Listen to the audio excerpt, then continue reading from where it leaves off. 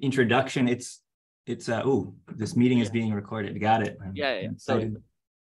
I'm excited to hear that. It's it's great to be here with all of you, and I really am honored to be a part of this seminar series. There are a lot of great talks scheduled. Uh, it's it's exciting to to be here. Um, I also want to thank before I get started. So I'm going to be talking about type cones, and I'm also going to kind of focus on well, or at least towards the end, the goal is to get to product of simplices, so specific type of polytope. Um, I think the talk is slightly differently titled on my slides than versus online. Um, so that's that's uh, that's my bad. But so the the talk is based on a work with my collaborators Federico Castillo, Joseph Doolittle, Michael Ross, and Li Ying, who are various points around the world. And our paper is called Minkowski summands of cubes. I think it finally was published uh, over the summer, or you know, sometime over the summer it was published. And um, I actually, when I was preparing for this talk, I um, I saw that this was a Matroid seminar, and I, I quickly Control F the word Matroid in our paper. And there are unfortunately very few Matroids listed in our paper, but there are, I, I assure you, there are Matroids hanging around. We're talking about polytopes, point sets, hyperplane uh, arrangements. So, so hopefully you'll you'll find something interesting for, for any of us here. Um, and please, during my talk, feel free to interrupt me at any point. I'm, I'm happy to chat and answer questions. Um, but I'd, I'd, like to, to start with just a, a, reminder, a definition of, of the main pieces of the puzzle here, which are polytopes. So a polytope in RD, I want to think about in potentially two different ways, either as the convex hull of finitely many points, uh, that says many, oh, or, or the bounded key, intersection of finitely many half spaces. Hmm, let me spell half correctly. Uh-huh. And please let me know at any point if what I'm writing on the, the screen is, is, is hard to, to read. Uh, so for example, if I take, you know, say some points in, let's imagine these are in R3 for a second, and I take four affinely independent points, I get something like this. This is my three simplex here. Okay, so that's one way to think about it. Or, you know, instead, maybe I, I take some bounding hyperplanes. So I have one up here on top, I have a few on the sides. And I, I end up with this triangular prism.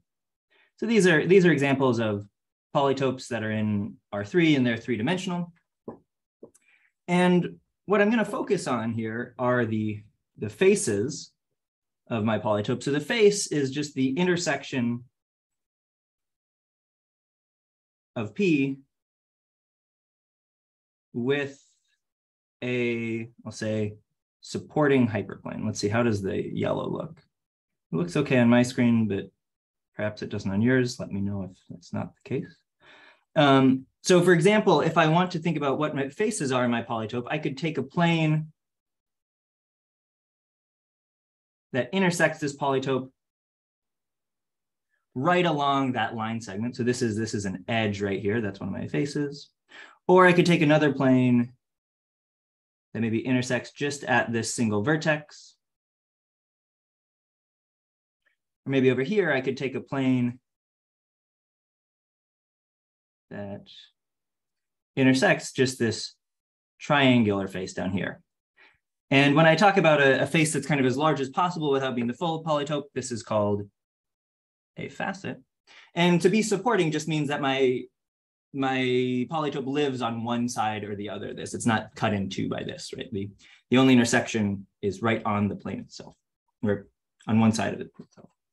Um, and just one special type of faces that I really like are K simplices. So K simplex, it's just K plus one affinely independent spaces. Or excuse me, affinely independent uh, points, and then I take the convex hull.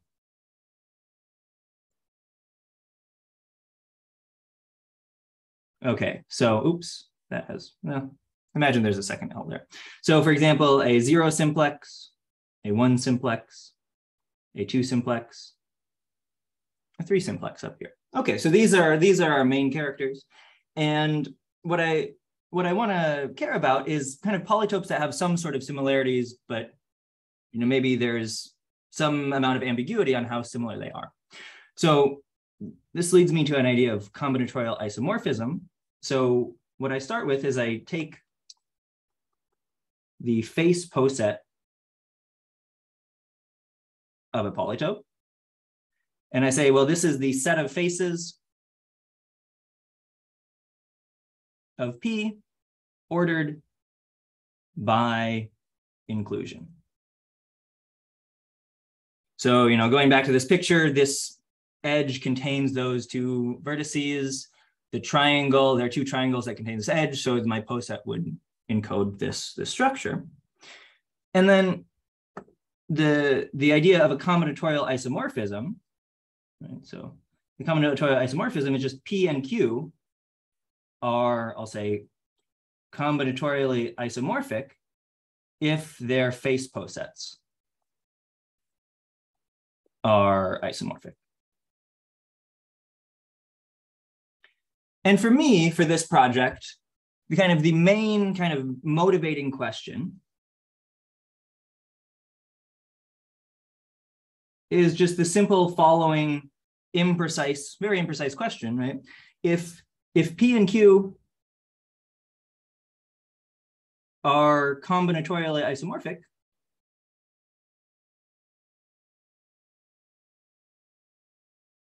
well, how different can they be? So this is the imprecise bit, right? What do I mean by they? What do I mean by, by this? How different? Well, first I want to I want to show you a couple examples of some combinatorially isomorphic uh, polytopes and convince you right that there is some some maybe subtlety. Um, so let's see. So for example, um, sorry, I've lost track of. I don't have a easy clock. Okay, there we go. Um, so for example, I want to think about cubes. So cube here is just any polytope that is combinatorially isomorphic to the standard cube. So the standard cube, I just take all the points in between zero and one. So for example, if D is equal to three, I get some object like this, right? I get six-sided like a die from a board game. And the one property that is not surprising to anyone, but I want to highlight, I think it's, it's relevant, is that if I take these, if I take any pair of opposing facets on the standard cube, it has this really nice property that any, any pair of opposing facets they are parallel. So parallel here, parallel here, parallel there. Okay. And then there are, of course, other sorts of cubes. So for example, I could, there's this classic one called the Klee-Minty cube. The idea is what Klee and Minty did is they took a, a standard cube and they kind of perturbed the vertices. So we still have the same sort of, uh, oops, we have the same sort of, of combinatorial structure here, right? We have this face poset that's the same. But the vertices have been perturbed somewhat so that if you say run the simplex algorithm and you, you pick uh, you, you pick uh, unluckily, you might actually have to visit all of the vertices of the Klee-Minty cube when you're when you're trying to do optimization problems. Okay, so this is this is a bit a bit perturbed, a bit different. I want to show you what in my mind is a really wild uh, sort of cube. Uh, it's this one right here. And actually, I would like to show you an interactive graphic here. So I actually have something, uh, if you if you want to kind of play along with this uh, cube at home, I'm going to put a link in here. Uh, so you can click on this link. This is a, a, link to a web applet. I'll open it up as well in here. And you can, you can see what's happening with this cube. So let me see here. Uh, I'm gonna... So I claim that this thing right here is also a cube. And you can go and check and you say, um, this thing, if I, if I go through and look, it really does have the same structures here. I have a bunch of quadrilaterals and I have kind of opposing facets here. So for example, here's a supporting hyperplane that hits this quadrilateral. And if I think about the other four vertices of this polytope, I get this. And I can go through and I can check all of these that I really do have the same combinatorial structure as a standard cube. But the, the wild thing about this particular combinatorial cube is if I take these sets of opposing facets, so here's one uh, facet, Here's its opposing facet. unlike for the standard cube, when I look at these facets, they actually form a right angle. So they're actually perpendicular. So in the standard cube, right, I mean, my opposing facets are all parallel with each other. But here, every, every pair of opposing facets, I can turn on some other opposing facets, happen to be perpendicular. So here, the geometry is quite different from, from what you might kind of expect from the standard uh, cube.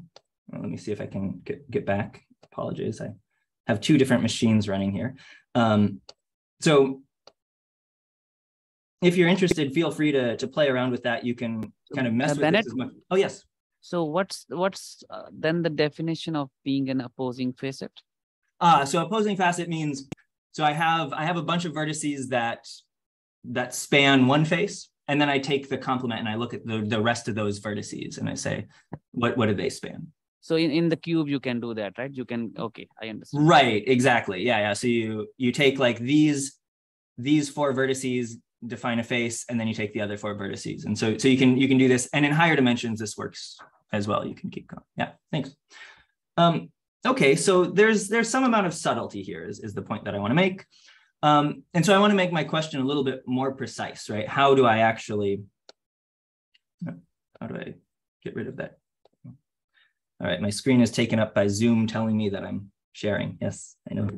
Well, how do I make this question more precise? There are a couple ways to do it. One is by looking at the realization space of my polytopes. And the idea is I pick some polytope and I look at the space of all polytopes that have this isomorphism, right, between face posets. And this is relatively well studied. One thing that I want to really highlight is this has really wild topology in general. And in fact, I mean, when, when my polytopes get to be large enough, in this case, dimension equals four, uh, any you know, homotopy type could appear. And this is this is due to something called Mnëv's universality theorem. But so kind of if if you have any strange topological space, you can realize it as the realization space of a polytope. So these, these can be quite, quite poorly behaved in general.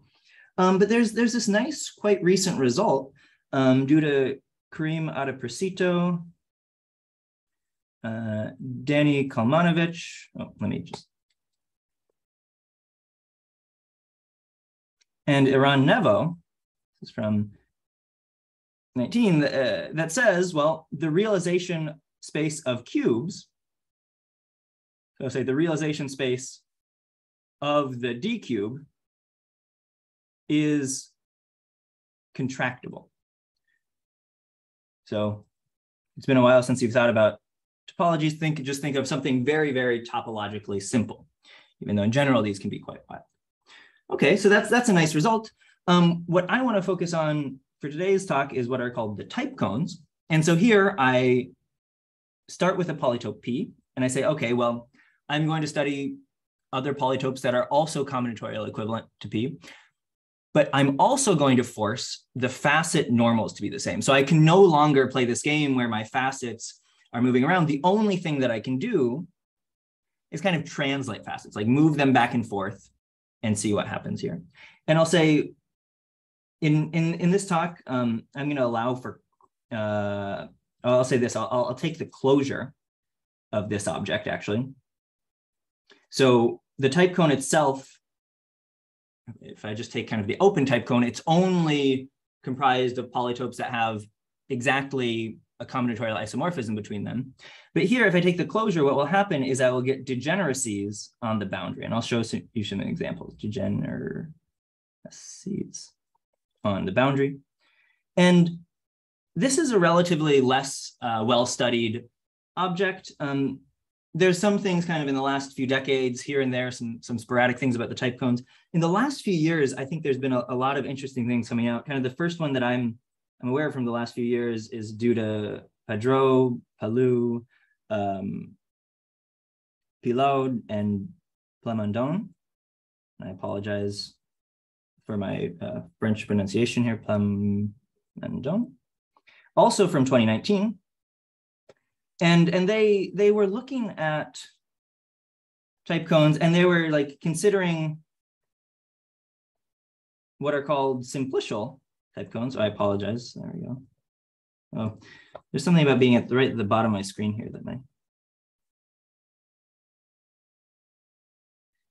And, and they were in particular motivated by um, some scattering phenomenon in particle physics and somehow trying to give a mathematical foundation to what's happening, looking at type cones, these deformation spaces that are themselves very, very simple. So here I'm thinking about contractible as topologically very simple, and simplicial is like geometrically or combinatorially very simple.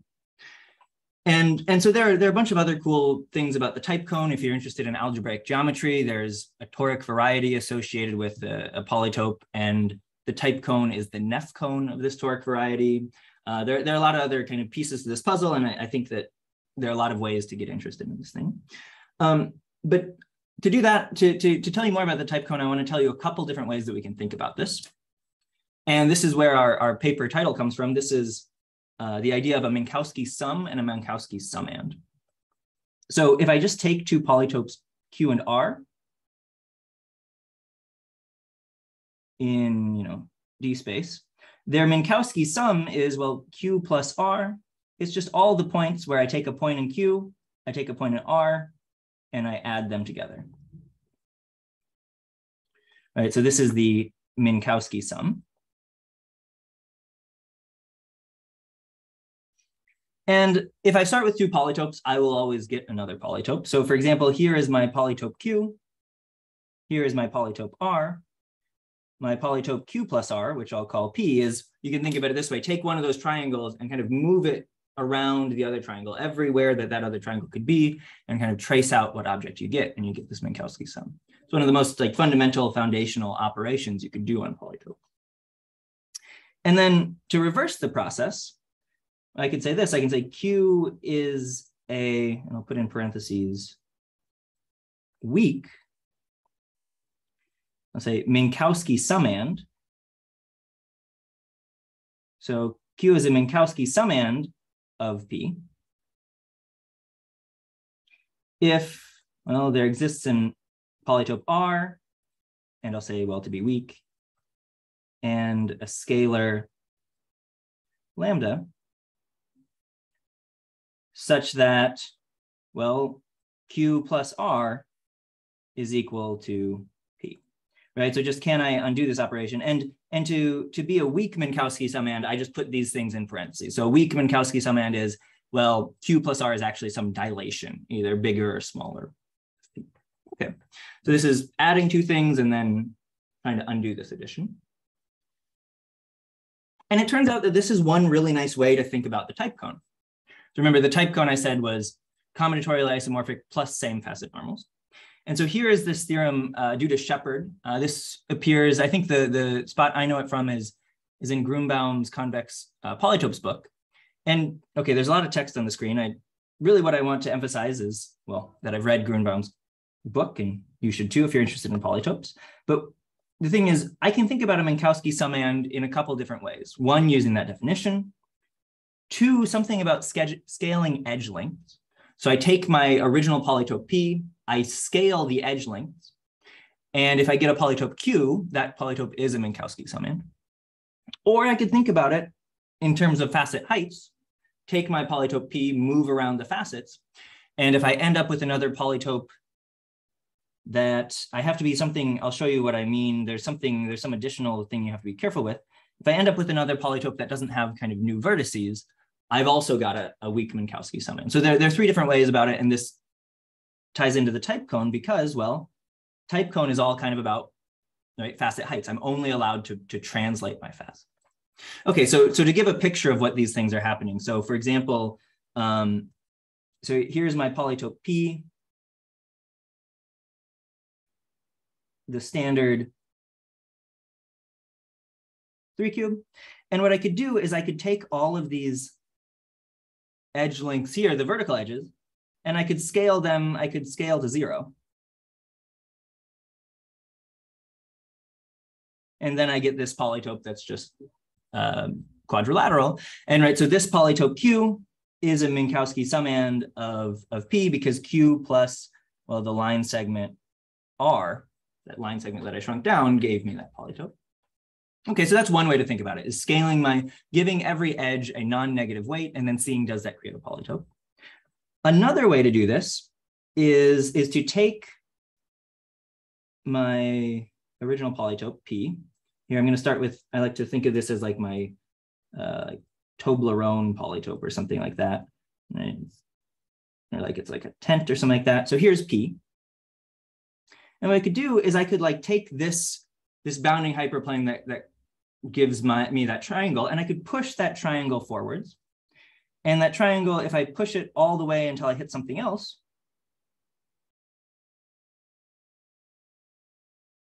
I come down to this, this triangle with a, excuse me, this pyramid with a square base, Q.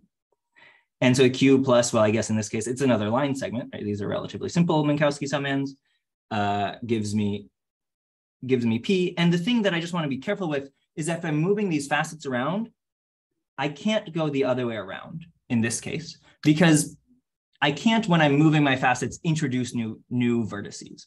So I'd say here, Q is a Minkowski summand of P, but not the other way around. P is not a Minkowski summand of Q because if I, if I move the facets to get from Q to P, I introduce some new vertices. Okay. So these are various ways to think about Minkowski summands. Oh, sorry. Yeah. So for the edge length, do you mm-hmm. also have a condition like you don't introduce new facet? Because if I just increase one edge of well, the cube. Yeah. So the way I should think about this is is like I take my original polytope P and I have the edge lengths, whatever they are, and all I'm allowed to do is is like I write down for each edge. I say how much am I going to scale this by? I write this down, and then I say, well, if I took those edges do they still form a polytope? Because if I only scale one edge, what's going to happen is I just like get something up here. And now I say, well, those are not, this is not the edge set of a polytope. So that's what you do. You check once you've scaled the edges, is the resulting thing a polytope rather than rather than scale them and then take so, the, so yeah the convexity condition says you yeah okay i understand right exactly and so yeah that's that's that's nice there and this is nice for computations to just be able to to scale those yeah thanks um, okay, so I have these three ways of thinking about it. And so let me say the way that I'll just for this talk, you know, officially define these is the type cone is just the set of all weak Minkowski summands.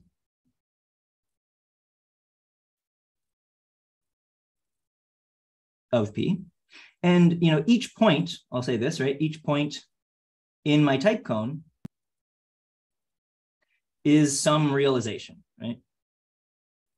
Corresponds to a realization.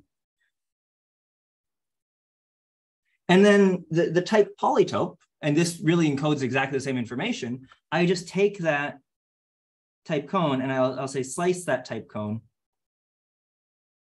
with, and I'll just say an appropriate hyperplane.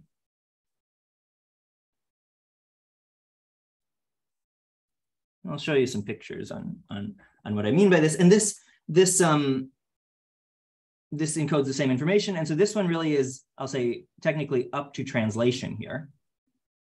Because if I if I take two Minkowski sums, like maybe it pushes my polytope here or there, I kind of want to just think about these things as translation invariant. And so this type polytope will be the the weak Minkowski summands up to translation and also dilation. Essentially, this is what's happening is I'm kind of fixing, I'm fixing like the edge lengths or something like that. I'm saying that the edge lengths have to add up all to a certain value, and that's going to be my scaling factor. Okay, um, so let me show you an example of how to keep, compute one of these. And I've got another interactive graphic for this one as well. Um, so here is my, my polytope P that I start with. And what I want to do with P is start moving around its facet heights, because this is one way to think about the Minkowski summands or to think about these uh, elements in my type cone. And let's say, for example, I pick um, this, uh, let's, let's pick, uh, let's pick this facet right here.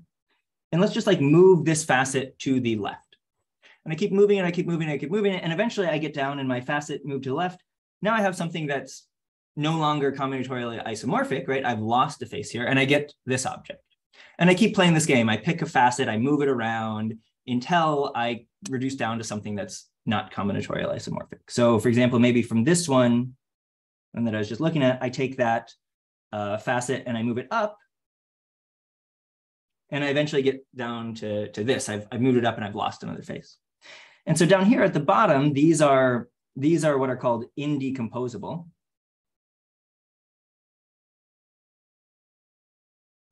And they correspond, they are exactly these polytopes that don't have, that they're, all of their Minkowski summands are trivial. The only way to, to break that up into smaller pieces is to like do something like, well, itself plus a point, or itself plus itself, and you get a dilation. Um, so so this is this is what the object looks like, and this is exactly the face poset when I when I take all these things, face poset of the type polytope. And on the, the right, what I've done here is I've actually shown you where these different things live. So for example, so here, this is the face poset of a triangle. I have the triangle itself up top. I have three edges. I have three vertices. And I've labeled on here where these different things exist. So any point in the interior of this triangle does actually correspond to the original polytope. And then as I start moving and I hit the boundary, now it gives me some sort of deformation here, some sort of degeneracy. And I eventually, when I get to these vertices, these give me my indecomposable. And so if you're interested in um, playing around with this one as well, I, um, I have another one. You'll notice that the color scheme is a little bit different since I just moved institutions. I've, I've changed the color scheme of my slides, but not um, my, uh, my GeoGebra images here. This is the same sort of thing here. So I actually have on the right, I have my type cone. So it's just I haven't sliced my polytope. And on the left, what I can do is I can move around these bounding facets and I actually see the point in my type cone move around. And so if I get to a point where, you know, I've, I've got to this point now, I have something that's combinatorial differently, different, I, I, look and I say, ah, well, this point in my type cone corresponds to being on the boundary. It's no longer in the interior. And I could keep going. I could say something, get down to move until I hit this triangle. Don't want to go too far. I need to make sure that my facets still all bound it. And now I've hit a ray, right? So my rays correspond to these e indecomposable.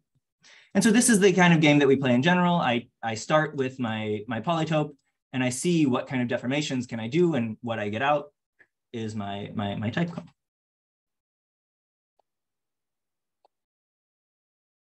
Okay. Oh yes, and I have this, I have this picture here to remind myself to, to tell you about this. Um, okay, so I think, I think the plan is for me to talk another 20 or so minutes. Is that correct, Ahmed?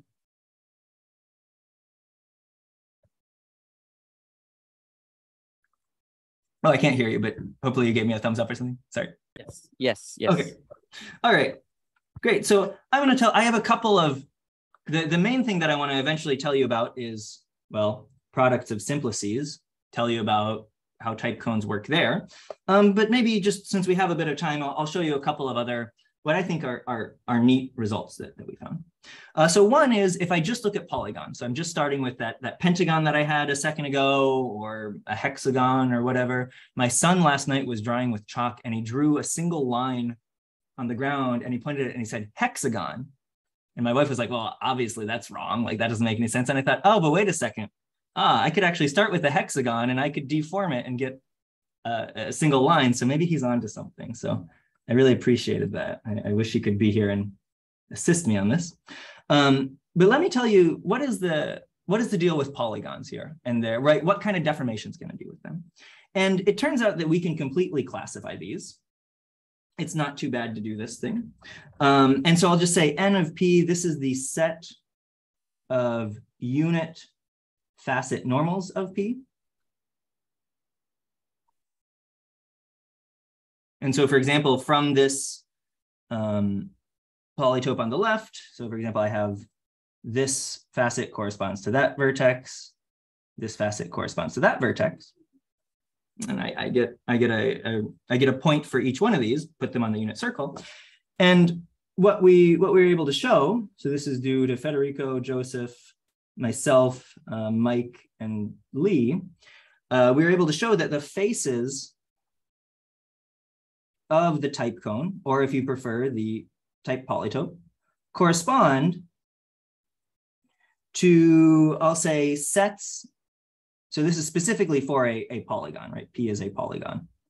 the simplest case that we could hope to think about, corresponds to, to sets of, of vertices here, uh, excuse me, sets of, of points in my, my this normal configuration, uh, such that the origin is in the relative interior of the convex hull here, of these points. So for example, if my, my points are exactly uh, those two things, right? I take the convex hull and I say, ah, the convex hull is right here. The origin is in the relative interior. So that, that says that essentially that exactly this, that, that this, the polygon corresponding to just those facets, so in this case, I just have this facet, this facet, this one Q is a Minkowski summand of P. And so I could go through and, for example, another one I could say is, you know, something like this point, or actually, how about I say this point, this point, and this point. That one corresponds to, well, take this, this, and that. And again, I see, ah, well, the origin is in my relative interior. So if I take those, those facets and I can build a polytope out of this, this is R, that one is also Minkowski summand here. Um, and so if you're looking at this and you're saying, ah, that looks like a Gale dual or a Gale transform, if you're familiar with that, that's essentially, I mean, there's, there's a kernel of exactly what's happening there. And in particular, you can actually say from a corollary here that like any, I'll say D polytope with at most D plus three vertices is the type polytope for some, some polygon P. So just right when it when we're in the polygon case, the simplest thing you can hope for, it does have this nice solution. You just look at this configuration and and and look at these convex hulls. Okay, so that's that's nice. And it also let us answer, maybe I'll quickly say a question here, is well, what if I do this? I say fix an n-gon, consider all, so fix an n, consider all n-gons, which um, has the, I'll say most deformations. You know, another way of saying this is, you know, just like the, the I'm maximizing the F vector of the type polytope. And we thought, you might think that you, if you take, so for example, these, these are hexagons. So notice I've these are those, those point sets corresponding to the facets. So here's the regular hexagon. You can go through and count. And so, so it looks like something like this. I get a facet here, facet here, facet here, facet here, facet here, facet here. So there's my regular hexagon. Uh, this one I like to describe as kind of like the pizza slice hexagon, where I put tons of facets over on this side, and then like two big ones here, kind of. So I, I get something that's rounded, well, almost rounded like in, and then like a little slice here. Um, and then this one is kind of the perturbed. I just ever so slightly notice these ones, I move just a few vertices here from the regular. So this is perturbed regular. And, and you can actually see, um, well, for n greater than or equal to six, the perturbed regular maximizes the F vector of the type polytope, considering all around. Because like the regular one, well, when I look, I, I have these cases where, for example, if I if I take the point configuration corresponding to say these points, say zero is not in my relative interior. But when I play that same exact game over here, and I just take like these little bit of per perturbations, I need to be I, I picked a bad example, but I can pick this one, say, um, this one, and oh, I apologize. Uh, all right, let's let's pick this one, this one, and this one, right? So these were these ones were opposing vertices right here, and normally, right, I would have had the same problem where zero is in the relative interior, but I just ever so slightly move it a bit. And so now zero is in my relative interior and I get, as n grows, I get many more faces if I just do this little perturbation. Turns out not to matter when n is odd, but for even n, we can do these little perturbations and say, these ones uh, answer this question. Okay, so, so polygons are, are interesting, but maybe not the main event.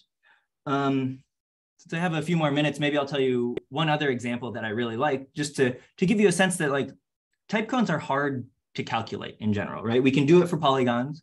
So then, then, then we next say, well, what about, you know, platonic solids? Right? AKA the, the regular, regular three polytopes. And, and I'll say there are some, okay, the, the simplex, any, it turns out any simplicial thing is not interesting. Uh, they just, they're indecomposable. Um, the cube, not interesting, right? So, we, so icosahedron also simplicial. So, I mean, well, they're, they're simple enough, but it turns out out of all of the um, platonic solids, the dodecahedron is kind of an interesting one to look at. So, so here is, if I think about my uh, edge weights. So remember, I take every, every edge of my polytope and I scale it by some amount. And in here, um, the alphas and betas and gammas, I could tell you what they are, but you know, there's something you can calculate. What I want you to notice is basically we've we've taken a single edge here and we've contracted it down. Every other edge still exists.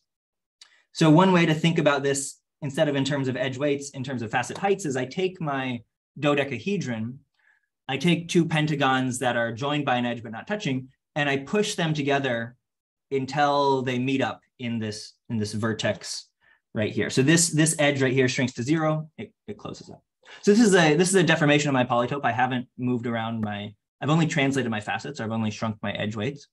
And that that corresponds to a this thing right here, this is a facet of, I'll say the type polygon of the dodecahedron. And down here, this is the F vector of the type polytope. And the facets of the F vector, so this is like vertices. So just like I'm, I'm building the same object that I had with the pentagon, here's for the uh, the type polytope of, of this more complicated thing. So my vertices here, my edges are the next one, two faces, three faces, etc. Down here to facets of my type polytope. And notice this number is 30. Well, there are exactly 30 edges of the dodecahedron, so we know, so we know all facets of this object. Right? For this, this type polytope, we asked a computer, we asked Sage to compute this, and it said, ah, like we can tell you this F vector. It's kind of hard to know what these are all corresponding to, but we know just looking at this picture, well, that the facets of my type polytope of the dodecahedron are exactly when I take a single edge and I smash it down. And I think also, um, I could be misremembering. I can't remember if any of my co-authors are here in the audience. I think we know this one too. I think we know all of the, the next level down, how to explain these. Um, but one thing I want to point out that I just, I know, I think is, you know, somewhat remarkable is that of these, these vertices of my type polytope here, we know slash understand exactly six of these.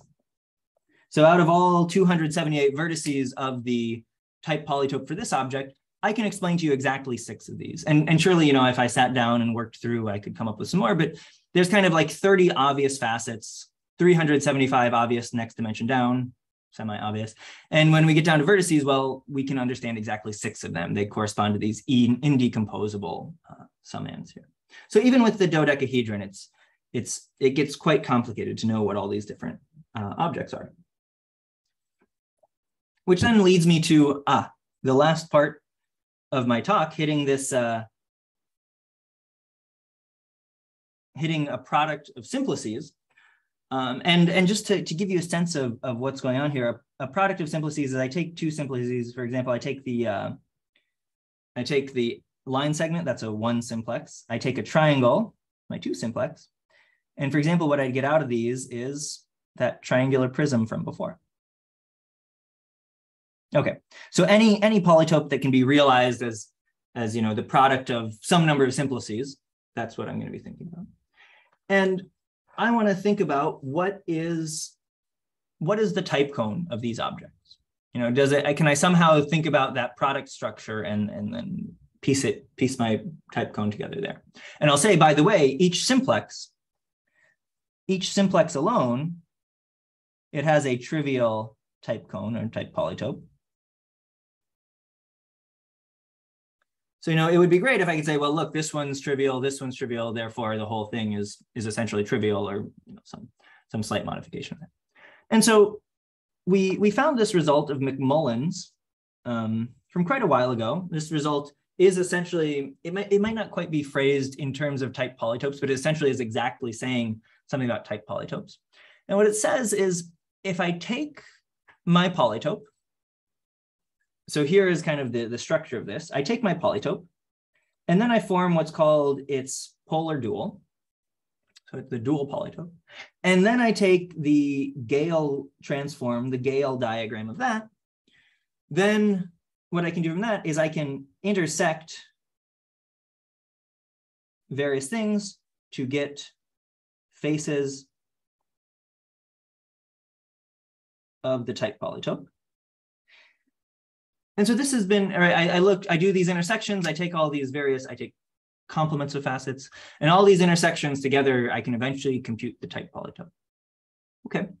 And that's nice, and that's that's cool. And and it's a great, it's a great result. And it, as far as I know, really hasn't been used much. It's possible people are aware of other uh, places in the literature, but as far as I know, it's kind of one of these things that we can apply it, but it's it's not clear once I apply it, like can I can I clearly use it or, or get anything done? So uh, yeah. Yeah. So does is this what you use to compute to ask Sage to get that uh, like to construct? Uh, uh yeah, that's yeah, that's a great question. Yeah. Um. Actually, no. For Sage, what we did is we we handed Sage we asked it for edge weights here, and we essentially we gave it the rules for edge weights, and we asked Sage to go through and, and calculate that. And that actually that highlights maybe a, a thing that I know some of my co-authors really liked is that kind of each thing that we did here, right, kind of used a different characterization or way to think about the type cone. So some things we needed edge weights, some things we needed, you know, tr facet translation, and and here this this McMullen result is kind of different from those. Yeah. Thanks. Um, so so let me tell you what we can say with this Gale, uh, or excuse me, with this McMullen result. Well, we can start with a polytope and we only need our polytope to be combinatorially isomorphic to a product of simplices. So, so it's like I take my, my polytope, okay, so that one before that triangular prism was a product of simplices, but anything, right? So this is like, right? So the, the geometry could get a little bit weird. So for example, excuse me, for example, if I take any combinatorial cube, so even those ones, the Klee-Minty ones that have been slightly perturbed or the, the quite wild ones where I have opposing facets, anything that is combinatorially isomorphic to the product of simplices has the simplest possible type cone. It's just a simplex itself. So in other words, right, this is a simplicial type cone.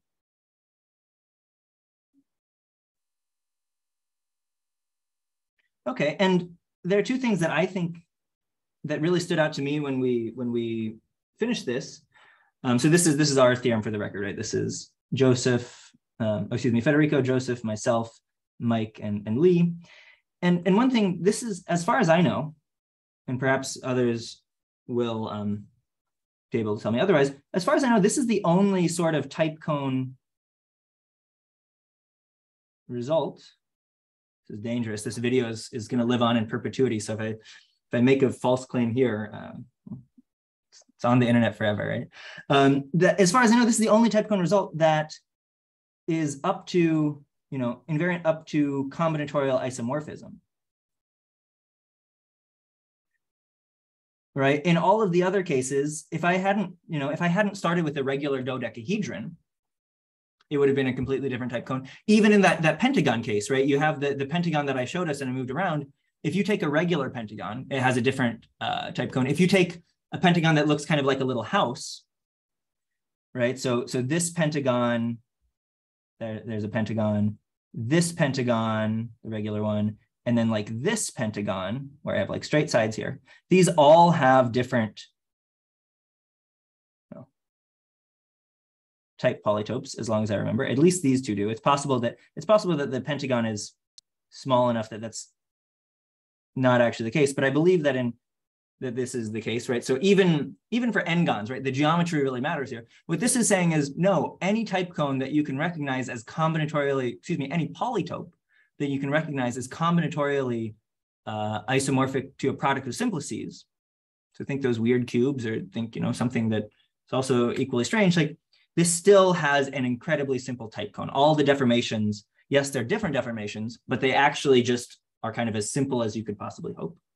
Um, and the other thing that I, I want to highlight from very back to the beginning of when I started talking about type cones, I also mentioned uh, this realization space thing where Karim Adiprasito, Danny Kamala, Kalmanovich, and Eran Nevo proved that um, realization spaces of cubes and actually in more generality, uh, products of simplices were also contractible. So this really kind of mirrors their result. It's not one doesn't imply the other as far as I know. Perhaps there's something that no one has, has pieced together. Uh, as far as I know, they're, they're kind of independent, but it really does mirror this result on realization spaces.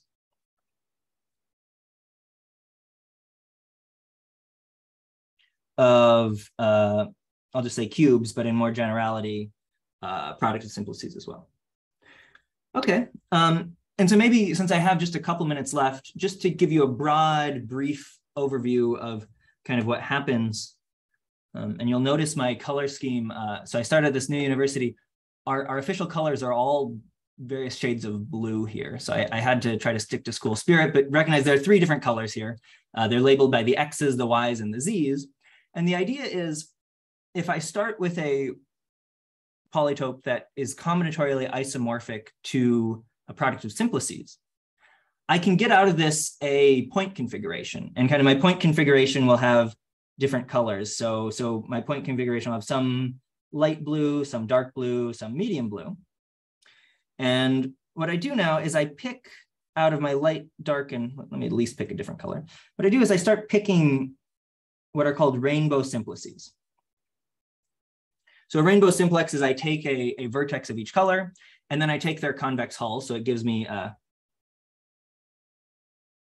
this object right here. And then maybe I take a different rainbow simplex. So maybe I take this one, this one, and this one. And I take their convex hull. And so I, I get this point configuration. They're different colored based on what simplex essentially they came from. And then I, I, intersect all possible ones where I take a color from each, each simplex. And when I do this, the nice, happy answer, and this doesn't work in general. If I take other, if I try to play this game with other sorts of polytopes, I can uh, run into point configurations I don't have in this. But when I take all configurations and intersect them, it eventually works down to just give me a simplex. And you might remember going back to this um, Gale result, that's exactly what I'm doing here. As I'm doing some sort of, I'm intersecting a ton of different things, exactly these these cofacets. Right? Once I make this, once I make this translation to the polar, to the Gale, and then and then apply this. And so what's exactly happening here is saying, ah, the intersection of all these is simplex. We apply McMullen's result, and this says the type cone, the type polytope, in fact, is as simple as possible. It is simplicial. So that's I think where I'll end. I want to thank you all again for for attending, and it's been it's been great to be part of the seminar. Thank you. Let's thank the speaker.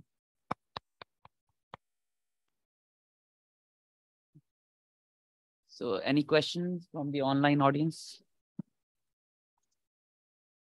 Well, hi, hi Bennet. Uh, hi. Thanks for the nice talk. Um, Thank you. My question is just um, so all these uh, type polytopes for these for cubes, for example, mm-hmm. they're all combinatorially uh, simplex. But is it true that all the deformed polytopes represented by those points in the type polytope are are combinatorial equivalent as well? I mean, oh, um, oh, that's a great question. I think the answer is gonna be no. Oh, really? Um, yeah. So, so for example, if I look, so here's here's like the standard cube. Here's this Klee-Minty cube. Um, yeah, I think I think the answer is no. Um, but even if so, for example, if I take this, so here's the the two cube um, versus this two cube, which has this. So notice this is the same sort of phenomenon that was happening before, where in three dimensions, it's here I have these opposing facets that are perpendicular. So here I think I can I can deform this one to eventually get, right? I of I just push, say, this this one up, and I eventually get a triangle. And so, so this is not combinatorially isomorphic to any deformation I get over here, but there is somehow some correspondence between these type cones here. There's maybe just like not a natural one. I see. I see. Okay, thanks. Yeah, thank you.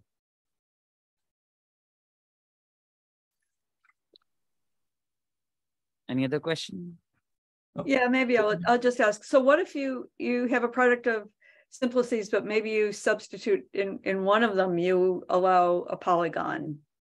Ah. You know, what? oh, yeah. Um, well, I can, this is probably still being recorded, right? Well, let me let me if you if you want me to stop no me. no no. Let me well here here is my question which is which is really related to to marge's question.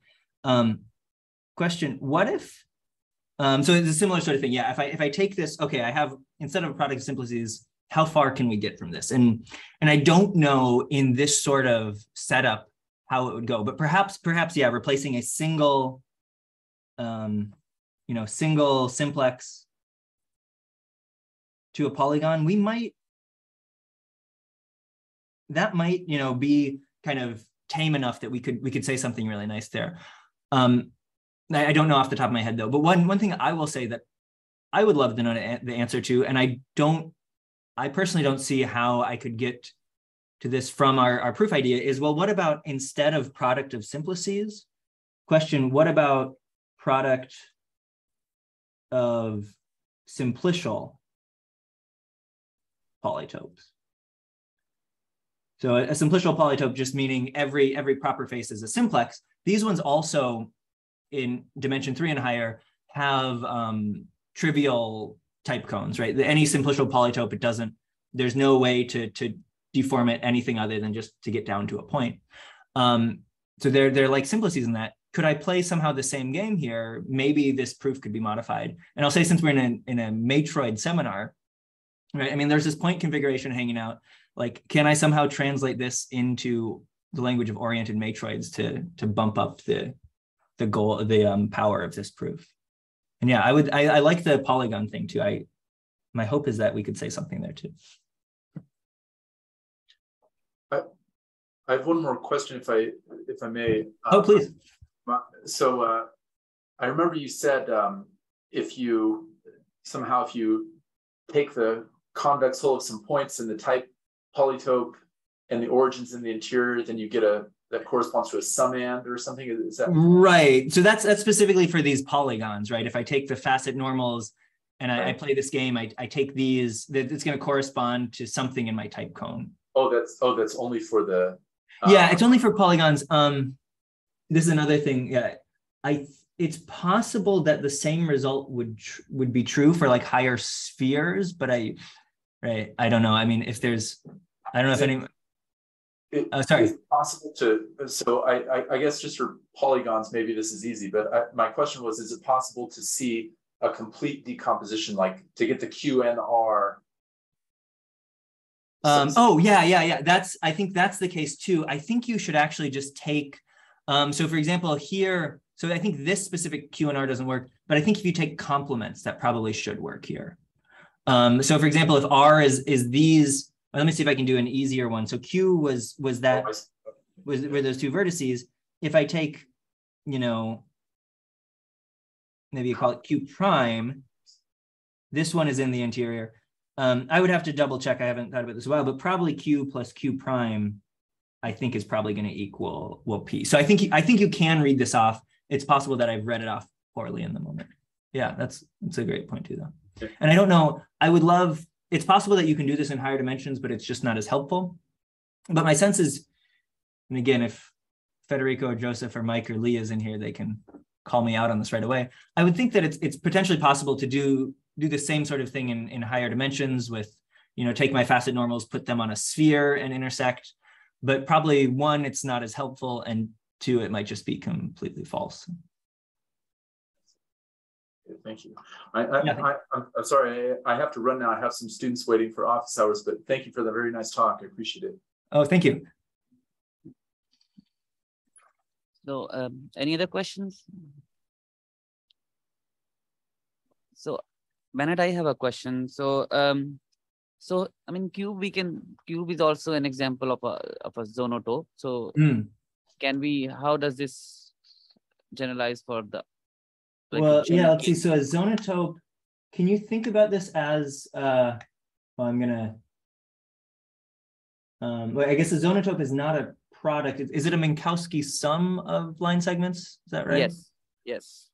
Right. Okay. Um, hmm. Um, so I think so. One thing I think that this, and again, this is just a as as uh, the hour goes on, I'll say things that are less and less likely to be true. But if you look at this picture, right? I mean, you see you see in this type cone or type polytope right? For example, if I want the type polytope of my Minkowski summand, uh, of one of my Minkowski summands, it's living here too. So for example, here is the type polytope of of of this of this real piece right there, right? So I can I can, and actually I um I spent some time this week trying to think about making this more matroidal. And one thing I'll say in general for this is a, a side note. You can think about this ambient space where the type polytope or the type cone lives as you know this is like kind of my abstract facet space. You can think about this actually as being tiled by many many many oriented matroids and you can think about this further as you know you chop up the type polytope and and it also gives you all these different oriented matroids but i think that probably you can use this structure but maybe i'm thinking of it exactly backwards right? That if i have a polytope p it's minkowski sum and it's type polytope lives naturally in there on the boundary here. Um, so is this immediately applicable, uh, applicable to zonotopes or is it the other way around? I would have to think about that for a second, but I, I would think that you probably can say something there too. And I'll say there are several, um, so the, this um, paper on these simplicial type cones, they were looking at, at graph associahedra, I believe, though it could be a different one. There have been several in the past three or four years papers on saying, here are various different permutahedra, things like that. And I think it's possible that zonotopes have come up in one of these papers, but I, I don't off the top of my head know. Okay. Okay, so um, uh, if there are no other questions, or we can ask the questions off the record. Uh, so I'll stop. Right. Yeah. Stop the recording and I'll, yeah, I'll say yeah, all I really want. Thank you.